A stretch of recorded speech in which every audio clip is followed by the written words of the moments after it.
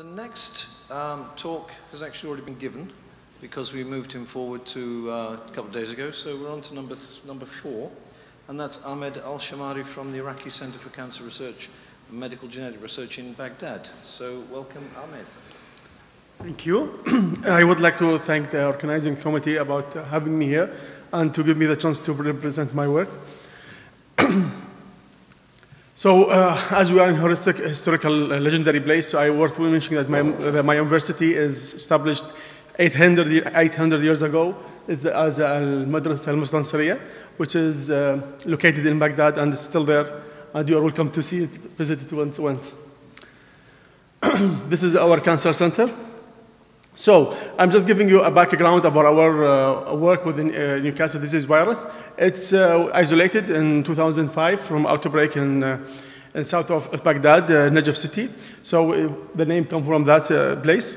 Characterized as a velogenic virulent strain, and it's based uh, in chicken embryo uh, eggs uh, more than 25 times, and the strain is no longer pathogenic. It is now attenuated, and it ca- causes no um, uh, pathogenicity in uh, poultry, in avian. The viral genome is fully sequenced, and the work going to make the recombinant strain. Um, so the virus, uh, our virus ca- cause um, apoptosis type of killing by inducing gas-based uh, 9 expression by intrinsic pathway, and in vivo association with, with, ex- with extrinsic pathway uh, by involvement of immune system.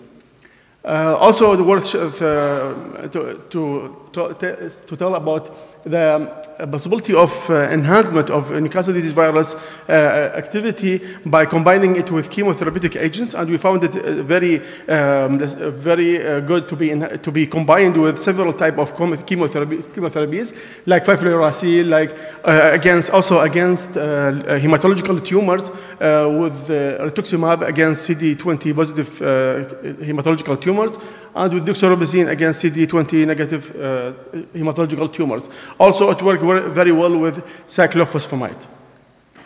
So, to, to talk about what uh, the current experiment, uh, worth uh, telling that Newcastle disease virus is uh, work on our um, memory adenocarcinoma uh, model, which is uh, also created by our lab.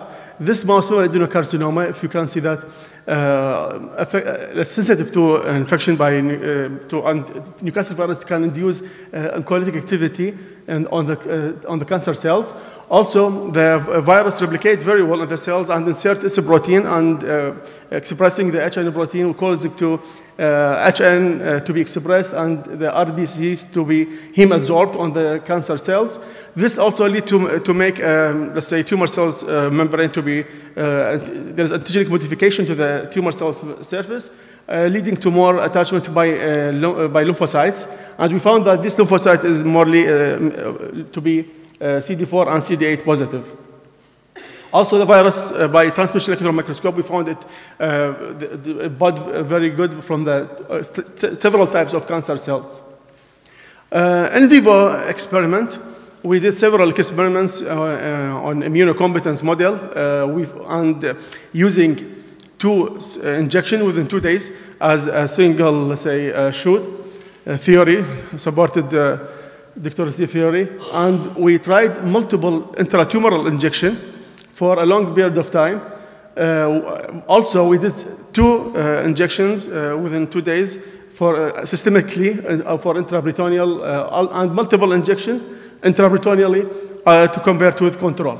We found that there is no big difference bet- between each groups when, we, you, when you give the two injections or you, you're giving two mul- uh, multiple injections for about two months or period. So we, we, we should have, we, I should uh, say that, that we are talking here about the uh, tumors or the animals that are resistant to the uh, viral infection.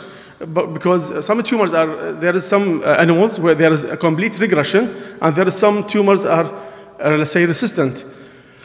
And these resistant tumors uh, showing also a, growth inhibition, uh, that the tumor size is still inhibited by the virus, even with two single injections, let's say, uh, within first week. So what is the problem? Why we, there is some of the tumors are resisting, resisting the, the virus, uh, viral therapy? Uh, several researchers saying that there is extracellular matrix that interfere with the nucleic acid virus separate and solid, in solid tissue and diminish its potential local activity.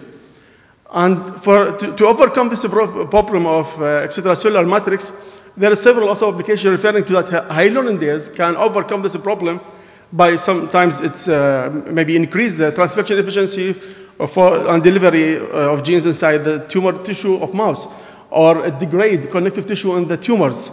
And also some colleagues use it with adenovirus. So we did this experiment to co-administration of hyaluronidase from two different sources, from bacterial and ovine. The, the ovine hyaluronidase is uh, clinically proven also used to, to treat several diseases. And we did a preclinical, a preliminary study uh, to optimize the dose use, used. And we used in this experiment 200 uh, international unit per uh, animal. And uh, if you can see that there is um, very nice uh, growth inhibition that is persistent for a long time, which is, it is not very long time. The, the experiment was for 23 days because the control animals usually dies. And uh, the single dose, uh, this, this the result of single dose only. So uh, the Newcastle virus only group, the growth inhibition spiked at nine days, then start to, uh, the tumors start to grow, regrow again. But uh, the groups that received the hyaluronidase uh, enzyme co-administration uh, show longer uh, growth inhibition period.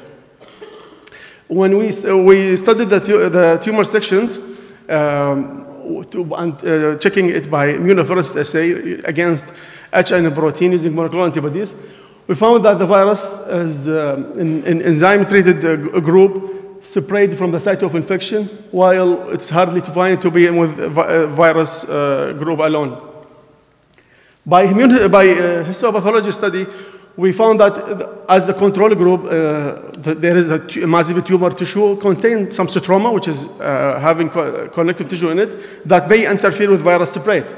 So in the Newcastle virus uh, group only, there, we, the, there is a wide area of necrosis, but still there is a connective tissue which is co- consisted of the stroma inside in the tumor mass that may interfere with virus replication and separate. But with, the, with the, a, group that is treated with the enzyme, we can find that there is a massive area of necrosis and more better growth inhibition. I am here acknowledging my team. Um, the, the, the enzymatic work uh, done by uh, my PhD student, Hassanian, and there's uh, my co-author, uh, Dr. Baha, and this is my team uh, within in my uh, lab. Thank you so very much.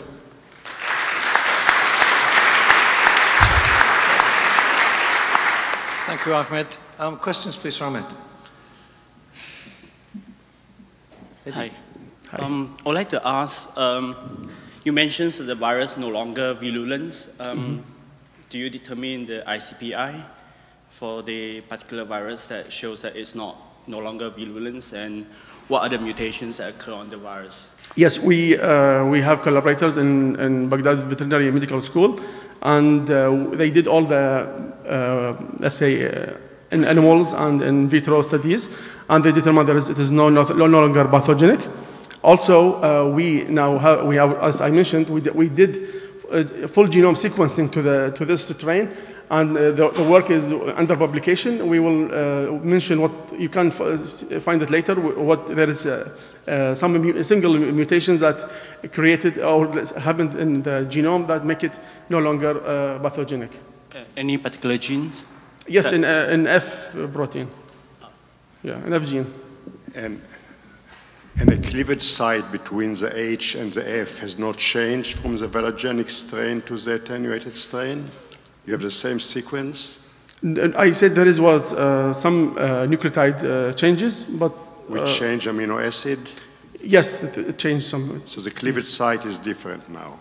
Um, this will be, let's say, uh, published later. I can't say it now. Yeah.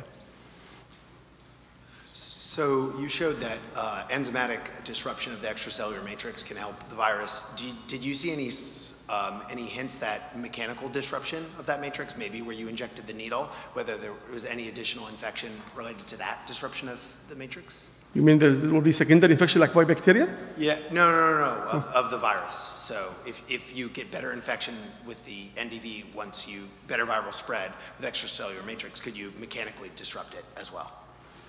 So we, uh, in, in this experiment, we give uh, one single injection in one site. So, uh, so we, I try to avoid make, make, any mechanical disruption. Of, yeah, thank you. Thank you. Okay, thanks very much, Ahmed. Thank you. Excellent. So.